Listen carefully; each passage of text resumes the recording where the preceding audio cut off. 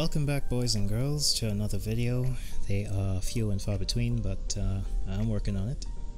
Today I'm going to be talking about values, checking your values while you're doing digital painting in Photoshop and more interestingly how to do it in other art programs as well. Uh, in the interest of saving time because I have a good deal to cover, I'm going to point you to this article at artofscholes.com slash checking values that uh, pretty much is the backbone of what we're going to be talking about today. Um, it outlines some of the pitfalls of the common methods people use to check on their values while they are painting. It's worthwhile to read because uh, that's pretty much what we're going to be doing today. So back in Photoshop, I'm just going to demo some of the ways people check their values. The first common way is to hit Ctrl Shift and U which is the shortcut for desaturate and we can see the result here. All the inherent values of each color are gone. It's just one gray that is really inaccurate. The second way people like to check on their values is to add a new layer to fill it with black. I'm just gonna alt backspace and change the blend mode to color or to saturation.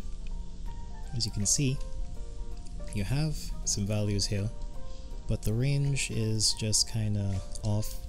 You can even eyeball the actual color, color wheel, and see that the values of the colors over here are much lighter than what's over here. And over here the values are kind of all over the place, not very cohesive. Art of Scholes concludes that the more accurate way to check on your values while painting is to go to View, Proof Setup, Custom, make sure device to simulate is set to working gray, dot gain 20%, and here you have a more accurate representation of the values of each color. So I'm going to demo another way that you can get this more accurate color wheel. We're just gonna undo that value check. You can use what's called a color lookup table. I'm going to point you to another article at amorten.com. It's a blog post. I'll have that linked in the description. Basically, it references the same Art of Scholes article and talks about the same value checking. However, he also includes another option, which is to use color lookup. And basically, the easiest way I can explain the color lookup is it's like an Instagram filter.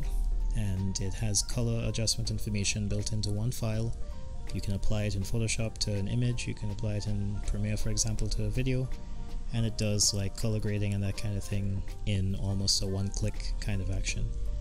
So credit to this guy, uh, he provided the color lookup table file that uh, I'm going to demo next. So back in Photoshop, going to keep our eye on this colored version over here, we're going to come down and click color lookup and that'll create a color lookup adjustment layer. Then over here we're going to click on load 3D LUT, LUT, I'm not even sure, and we're going to navigate to where the file is saved, change the file type to 3DL, and here it is, Grayscale 3DL. I extracted it from the zip. Gonna hit load.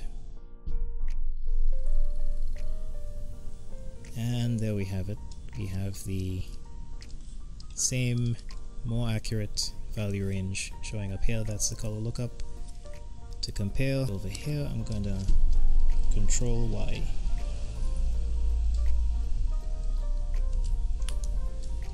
And we can see that it's yielding the same results. So with all that said what are the benefits of that? Well you can keep an eye on your values while you're painting. You can open up a duplicate of your window by going to window arrange new window got your new window over here which you can pop out. You can resize it. And then in here you can hit control Y and you can do all your painting and get your values over here in real time. Well, that's all well and good, and by now you're probably wondering, why is he showing us the old Control Y to check your values in Photoshop trick. We've all seen it before. Well, there's more to the video, so hold your horses. What we just pointed out is that that's the old Control Y to check your values in Photoshop trick, but what if you wanted to use another program like Clip Studio Paint, as I like to use, or Sketchbook Pro, or Krita, or Painter, or even Microsoft Paint, if you like suffering. We don't have a method like in Photoshop to get the accurate representation of the values in Clip Studio Paint for example. This is where we're going to use two pieces of software. The first, OBS, which you can download from here, obsproject.com slash download. You download, you run the installer. Uh, it's a great piece of software that I recommend you look into further, but I'm going to demo it for a specific purpose in this video. The next piece of software is called OnTopReplica, which you can get from here. It's basically an app that's going to take a copy of any window you select and make a duplicate that is always on top of all the other windows. So even if another window is active, you still have that in view. You scroll down to installation, latest version, you download the zip, you extract it. It's safe, I use it. I mean, if you're concerned about it, make sure your antivirus is up. Disclaimer, disclaimer.